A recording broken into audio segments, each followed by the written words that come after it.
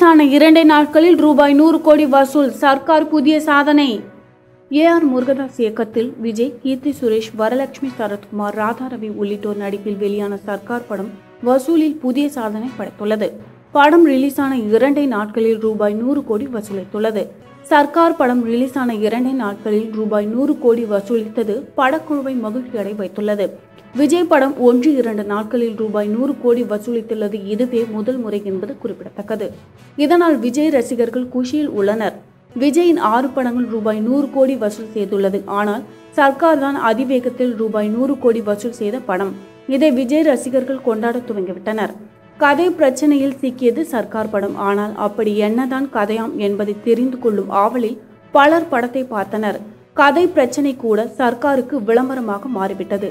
மேலும் பாஜக மாநில தலைவர் தமிழிசை சவுந்தரராஜன் தேசிய செயலாளர் எச். ராஜா ஆகியோர் படத்தை விமர்சித்ததும் கை கொடுத்துள்ளது. வார நாட்களிலேயே சர்க்கார் இப்படி வசூல் செய்துள்ளது. இந்நிலையில் வார இறுதி நாட்கள் வருவதால் வசூலில் நிச்சயம் மேலும் பல புதிய சாதனைகள் படைக்கும் என்று எதிர்பார்க்கப்படுகிறது.